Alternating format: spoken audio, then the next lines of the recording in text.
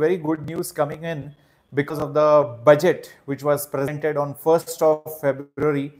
Yep, the budget has brought a lot of good news. In fact, if you ask your parents also, probably they will be happy because now the income tax slabs have been, you know, increased to a higher value. So, you know, for low, uh, for lower incomes or even middle incomes or even for decently, uh, you know, above average incomes, there is a lot of relief for the you know middle class and even the upper middle class but the best news has come for the NEET aspirants as well as the JEE aspirants.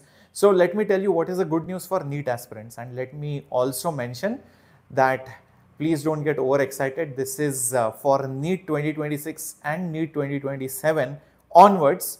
In fact, even for 28, 29 and I feel NEET 25 students or even the 24 students should feel extremely happy about this news because it is at the end of the day for the entire community of doctors and for the entire healthcare infrastructure, the hospitals, the good doctors who deserved the seat but had to take a drop will probably not have to take a drop anymore.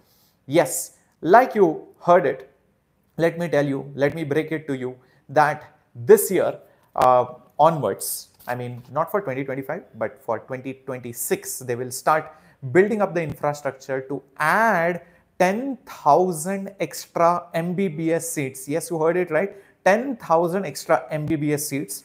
And every year they are going to increase this number. Sometimes they will add more seats in the same college or they will set up new colleges. Yes, completely government funded. And in the next five years, they are planning to execute this to increase the number of seats to 75,000.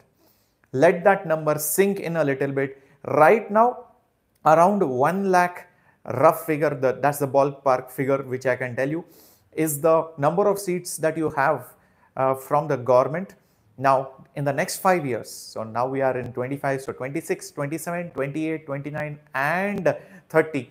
So these students by the time they reach for NEET 2030, they will have extra 75,000 seats. But next year onwards, they will have extra 10,000 seats. Now, will that be a great news or a bad news? Of course, the first reaction is it is a very good move.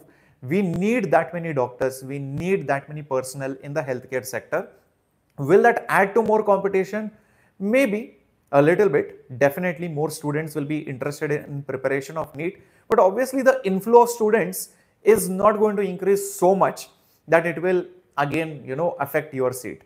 But, you know, definitely imagine those thousands of students who would have taken a drop or who could not afford a government college I had to take private or, you know, take a partial drop. Now they will have a seat in hand and they can start practicing and that is the need of the hour. So it's a very welcome move. And if you loved this news, quickly smash that like button and share this video across all your friends. Okay. So sorry guys, it is not for NEET 2025 but please feel good uh, about your juniors. And uh, once an ultra legend said, sir, if this is not a news for NEET 2025 and if the seats are going to be increased for NEET 2026, shall I take a drop? That is the doubt asked for uh, by an ultra legend. And one more ultra legend asked me a doubt. Sir, if 75,000 seats are going to come up in the next five years, then should I take a five year drop? Please make a plan for that. So what do you think about it? Quickly let me know in the chat box, alright, or in the comment section. Till then, have a great time. Hasta la vista. This was your Capto Shreyas. Thank you for liking.